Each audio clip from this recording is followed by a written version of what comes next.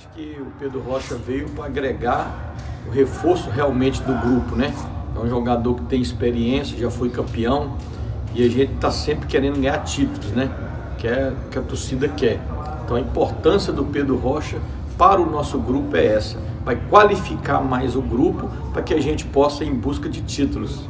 É o que a gente tem falado, né? Você tem que viver o Cruzeiro. Por isso que nós estamos preparando a campanha Viva o Cruzeiro todos nós temos que ter uma conta bancária. Se você tem que ter uma conta bancária, por que não ter a conta bancária no Banco do Cruzeiro, que está ajudando o Cruzeiro, que é o Digi Mais Cruzeiro?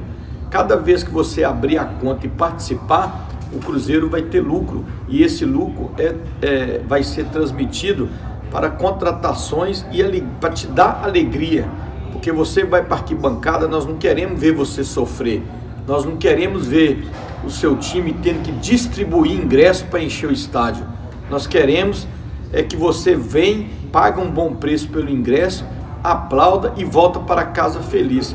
Esse é o objetivo nosso, que você, torcedor, tenha alegria e que vá para o estádio descontrair e ganhar títulos, não voltar para casa passando raiva. O pensamento nosso é seguir o passado do Cruzeiro, que sempre foi de ganhar títulos, né? Então é importante, para ganhar títulos você tem que ter o quê?